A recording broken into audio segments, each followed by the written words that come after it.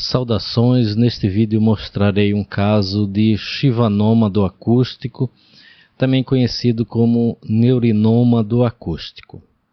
Temos aqui uma tomografia computadorizada do crânio sem contraste, corte no plano axial, e a gente vê aqui o cerebelo, verme cerebelar, hemisfério cerebelar direito e esquerdo, aqui a ponte, e você veja que aqui no ângulo ponto cerebelar, que é o ângulo, que é a cisterna que fica entre a ponte e o cerebelo, aqui, por exemplo, está normal, tem líquor, tem o conduto auditivo interno.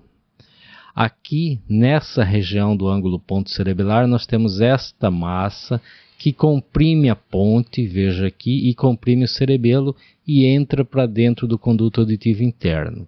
Uma massa sólida e podensa.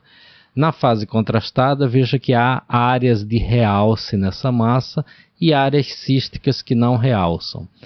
Observe a nítida compressão sobre a ponte e sobre o cerebelo.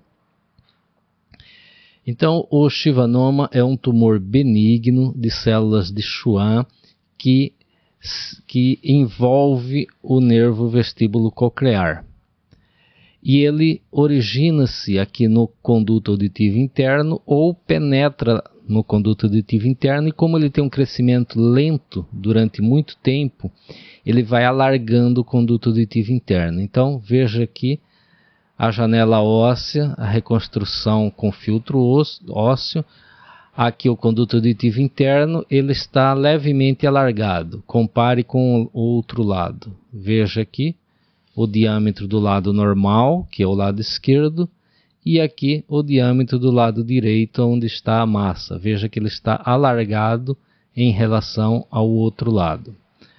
Então, com isso, fazemos o diagnóstico aí de chivanoma do acústico. Diagnósticos diferenciais aqui seriam meningioma. O meningioma não costuma entrar aqui para dentro do conduto auditivo interno e mesmo quando entra, ele não costuma alargar o conduto auditivo interno. Outros tumores nessa localização são mais raros, ok? Então neste vídeo era isso, obrigado e até o próximo.